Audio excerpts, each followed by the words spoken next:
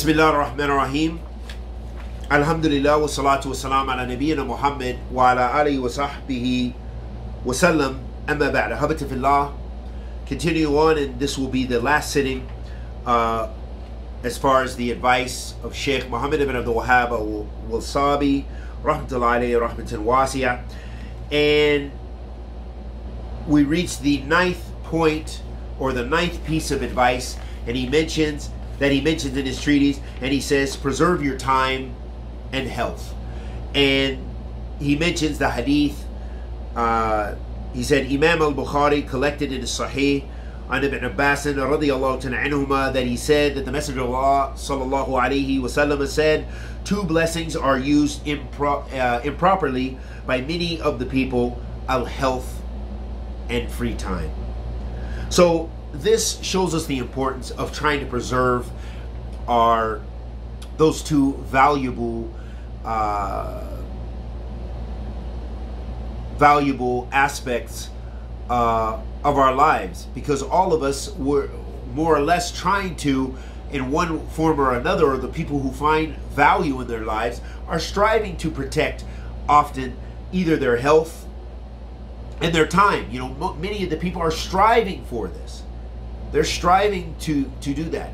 But in fact, probably more correctly, you'll find many people who waste both of those things. They waste their health, they don't take care of themselves physically, and they don't use the time when they are healthy for righteousness, for doing good deeds. In fact, you'll find the opposite. It amazes me how many young people, I mean, young, you know, they're in their 20s and things like this and then they don't they haven't uh, and they are from saudi arabia and they've never been to mecca and things like this. You know never made umrah or what have you.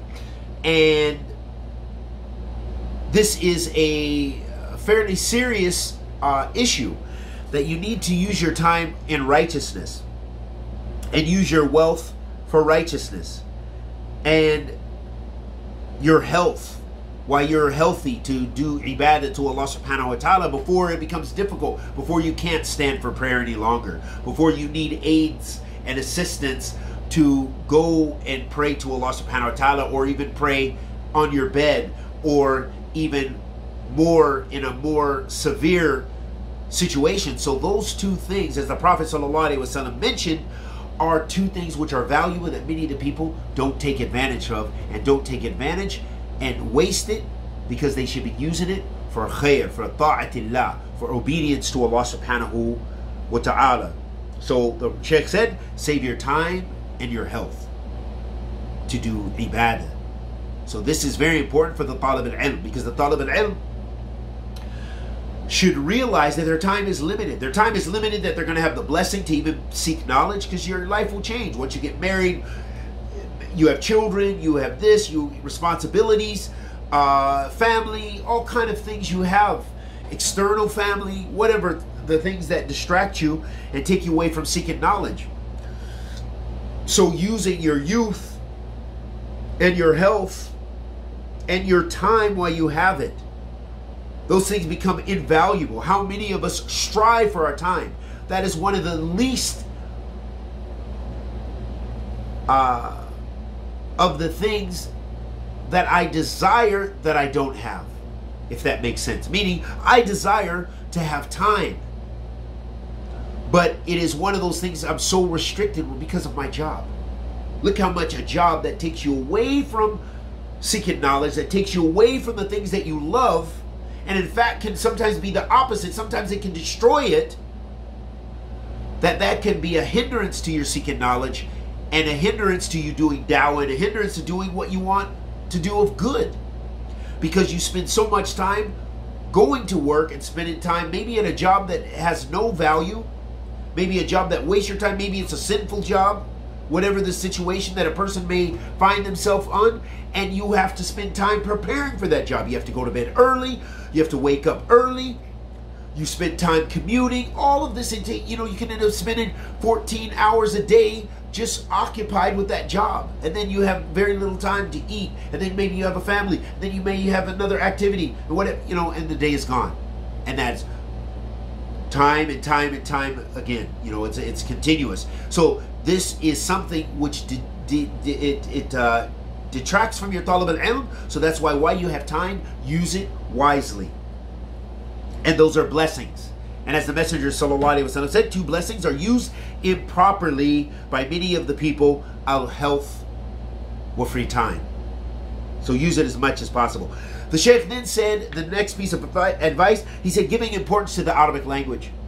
He said, learn as much Arabic language that will suffice you in speaking properly and pronunciation and what you need to know to construct proper textual meanings. So that's probably the most important part of this advice that he mentioned to know enough to construct proper textual meanings because it may not be necessary and for a person to have strong uh, a lot of strength in speaking necessarily if they are uh, a non-Arab and their communities are non-Arabic. For example, someone who's Indonesian or Ethiopian or Somali and or uh, from America or from uh, the UK or from France or Germany, they may not have the need, the same kind of need to be able to speak fluently in Arabic.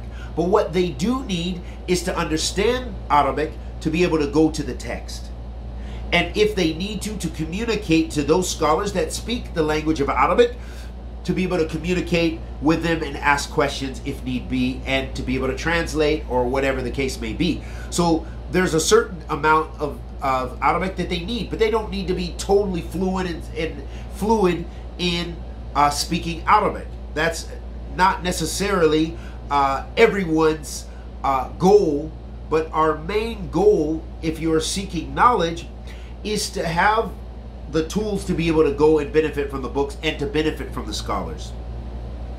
So that's that's very important. Uh, and the next piece of advice he mentioned is journey to seek knowledge.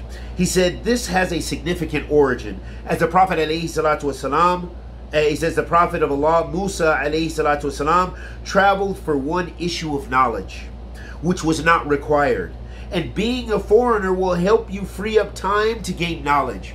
So here he's talking about the rihla as has been the sunnah of the ulama uh, in Islam to uh, seek knowledge. That the, the, the, people before us, they strove. They strove to gain knowledge of hadith. They strove, strove to gain knowledge of the various sciences in Islam. They strove and they traveled.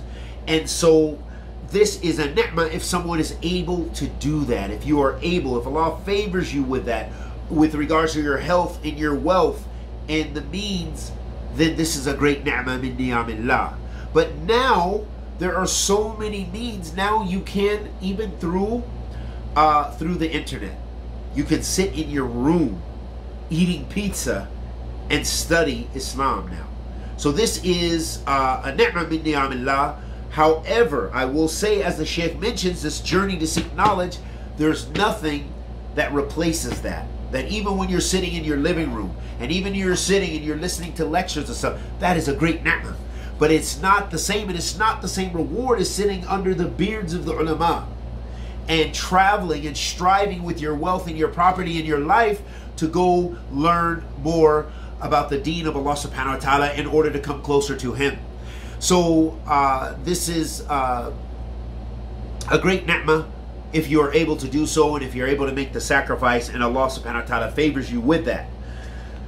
Another piece of advice he gave, he said, and this is the 12th piece of advice, he said, avoid taqleed or blind following. He says, Allah, he mentions the ayah where Allah Ta'ala says, Kitab al-Kareem, and follow not that which you have no knowledge about. So here he's showing us the importance that for the talib al-ilm that they need to seek Islamic knowledge and sound Islamic knowledge and they need to know uh, you know the evidences for what they're talking about that it shouldn't all it shouldn't be about just blind following that you have to be careful and cautious of that because there are many dangers of taqlid and again this is not the time nor place to talk about the intricacies of taqlid and when and when and if it's permissible and so on and so forth However, it's just important for us to know that we should not have blind partisanship and blind follow. I shouldn't say Sheikh so and so said for every issue and that he's he's always correct 100% and I follow him in every single ruling. you know, and, and, and I don't know any evidence for anything. This is a, it can be very dangerous because a person can be led astray. So it's very important to have uh, Islamic knowledge. And this is the whole, this goes back to uh, a part of that seeking knowledge and this advice for the talib al-ilm.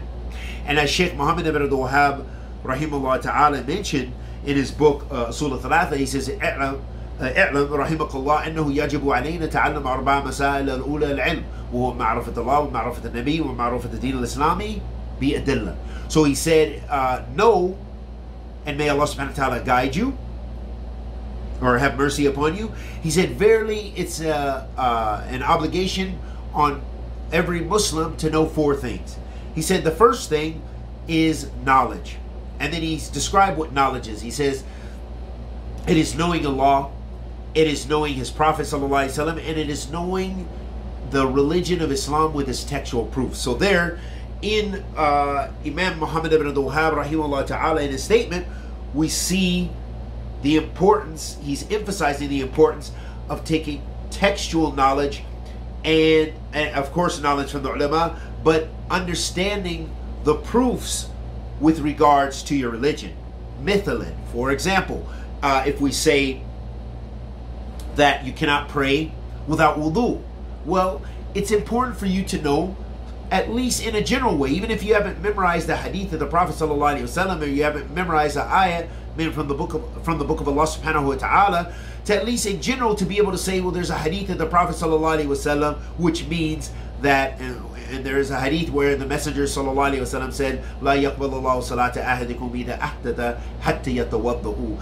Uh, one of you, uh, your prayer is not, the person's prayer is not accepted or one of you, your prayer is not accepted uh, if you have a hadath, meaning you, you break your wudu. You, uh, it could be hadath al-akbar or hadath al-asgar, the minor or the major hadath. But here he's talking specifically, uh, you know, as he mentions about wudu, he's talking about the minor hadath, you know, the, the, the minor impurities, passing gas, urinating, defecating, that these things, they break your wudu.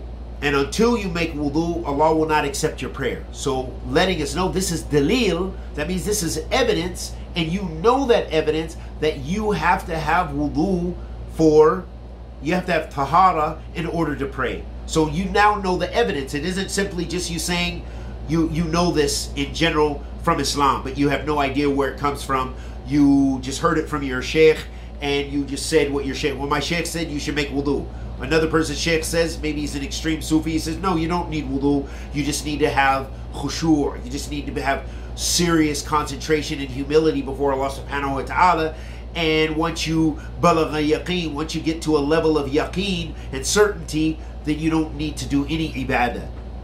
Okay? So people, there are people who make taqleed of this. I'm not just making this up. These are real issues, real masail, which are unfortunate have plagued the ummah of Muhammad sallallahu alaihi wasallam of people making taqleed to that level, to the level of kufr and shirk and zandaka and accepting that and being led astray and being led to kufr, shirk wa zandaka. وعياذ بالله وإياكم من النار وكفر والشرك والنفاق آمين يا رب العالمين. Then he mentions the 13th uh, piece of advice. He said, avoid controversial argumentation. This is so important that we almost need to speak about it separately, but we want to kind of finish this treatise.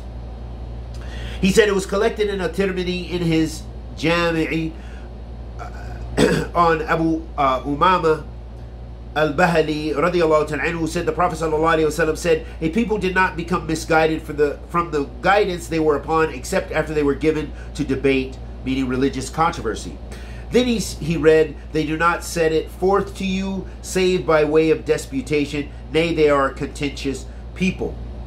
And then he said, and uh, the Sheikh said, And do not be obstinate regarding your opinion during differences in understanding, nor in differences in degree of interpretation, so that people become blind followers of you, whether you are aware or not. So this is that's an important piece of tarbiyah. We need to stop just for at least at least a second and point out a few point important points. First, he's talking about this his beautiful advice of avoiding controversy and argumentation. If you look to see the people who are busying you with uh, making uh, declaring everyone to be an innovator, even other people from Ahl Sunnah, or making takfir of people, subhanallah someone just left a, a, a comment on my youtube page saying that you know basically saying i'm, I'm ignorant and saying that uh, the only I, I, don't have any problem with him claiming I'm ignorant, but what I have a problem is showed how jahil this person was, and his claim is how ignorant he was because he said you don't speak about important matters. Uh, you know, you are I forgot what he said something, but you don't speak about important matters. So I replied to him. I said, yeah, I'm afraid that your comment has some issues with it because why? You are first. I have many durus that we've been speaking about Tawheed for years. Tawheed is the most important thing. Allah subhanahu wa ta'ala says, You can have it I have not created mankind and jinn except for the purpose of worshiping me. Allah did not say that He created mankind and jinn for the purpose of making rulings on one another. Allah ta'ala did not say I made I created mankind and jinn for the purpose of making takfir one another. So this person, because they're a defender of Faisal, Jamaica, and the comment was related to Faisal Jamaica. They were just upset because they didn't like the hujjah or bayan, they didn't like the tawdir, they didn't like the clarity, they didn't like the proof, they didn't like the evidence showing that this guy is a mubtadi'ah, a person of desires, a person of hawa, a person of takfir, a person of, uh, of, of a great evil, a person who fits the, the, the, the hadith of the Prophet sallallahu alaihi wasallam, in which he said, Al-Khawarij kilab al-nar. Al-Khawarij kilab al-nar the Khawarij are the dogs of the hellfire. That they didn't like that. So they wanted to argue on battle, and this is the way of the people of desires in the past. All those groups, they made takfir ba'hum min ba'd. They made takfir of one another. The Khawarij sects, they broke into various groups and they make takfir of one another.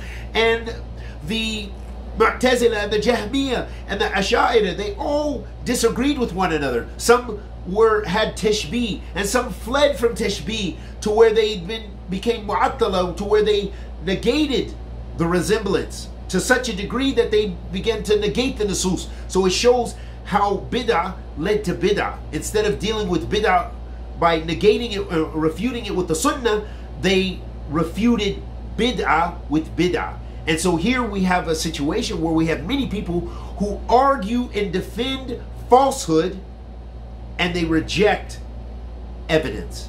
And this is a very shameful trait. And this is a trait of Ahl Bid'ah.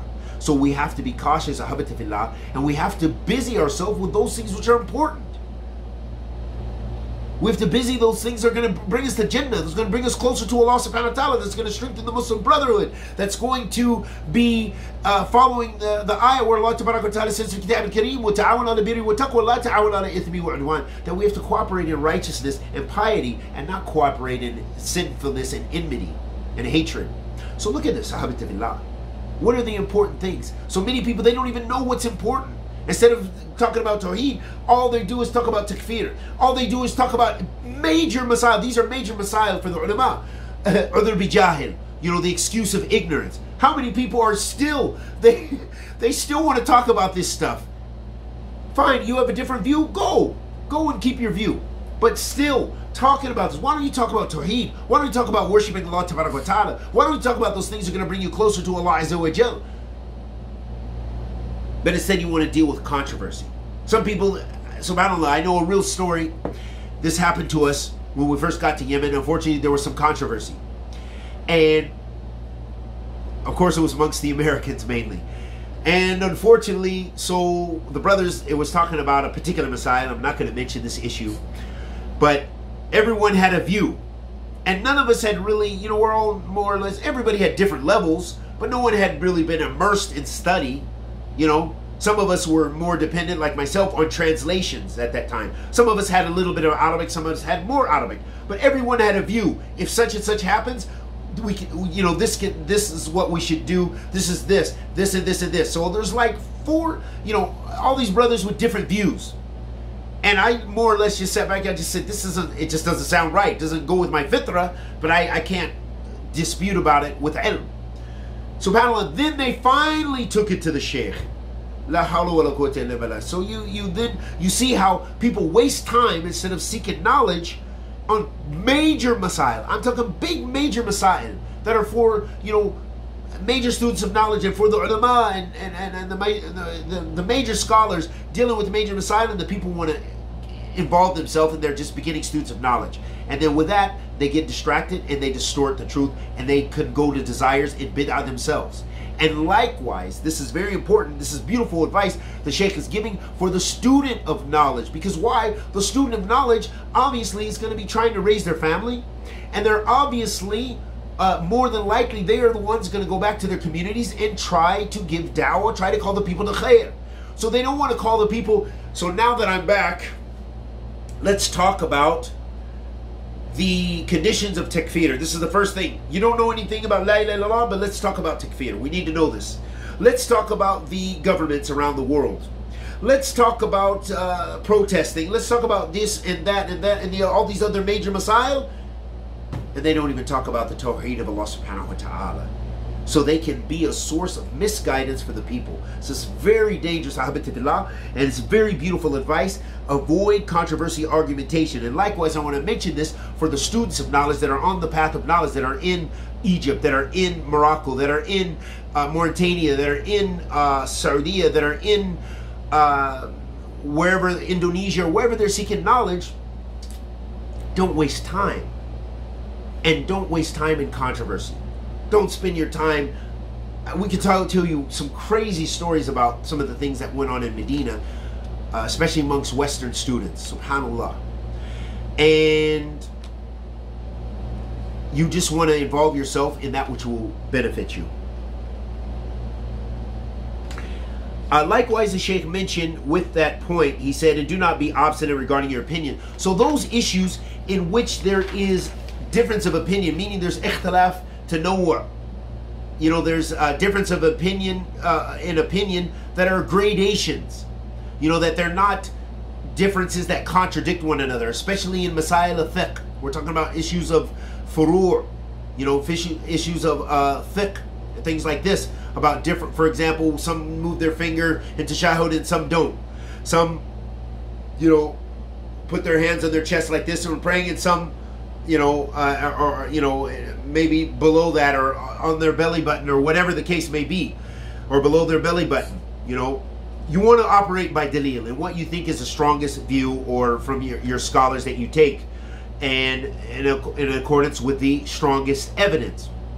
However, making hajr and cutting one another off and destroying one another's uh, integrity and attacking one another and making tabdi' of one another and uh, boycotting and other issues for those issues that is not permissible. And that's what the ulama teach us and that's what the ulama qadim and that's the example we see of the salaf ridwanullahi and so Habitifillah, he mentions the last point of his treatise. He said firmness regarding fatwa. He said Allah the glorified and almighty said and for what your tongues describe do not utter the lie saying this is lawful and that is unlawful, in order to forge a lie against Allah. Surely those who forge the lie against Allah shall not prosper. He says, This is what I advise, and it is not sufficient to hurry in advising the student of knowledge. Therefore, I advise him to return to Al Jami Al Bayan Al Ilm Wal Fadlihi by Ibn Abdul Barr, and the book Al Ilm by Ibn uh, Khaythama uh, Zuhair Ibn, uh, Ibn Harb and Al-Ilm from Sahih al-Bukhari and Sahih Muslim, and the other books which have been compiled in Islam. May Allah grant success to all in attaining that which He is pleased with and loves. So the Sheikh ended his beautiful advice for the student of knowledge eh, in a very beautiful way, and those are things that we can take hopefully to heart and practice and implement. May Allah subhanahu wa ta'ala forgive us of our many, many shortcomings, our many mistakes, in knowledge, our many deficiencies in knowledge and conveying knowledge and in practicing knowledge. And may Allah Ta'ala just better make us better believers in Him and better students of knowledge to traverse the path of knowledge. May Allah subhanahu wa ta'ala grant us ilm nafiya wa rizq tayyib wa amal mutaqabbilan. And may Allah subhanahu wa ta'ala bless us with Jannat al-Firdaus and forgive us of our many sins and shortcomings.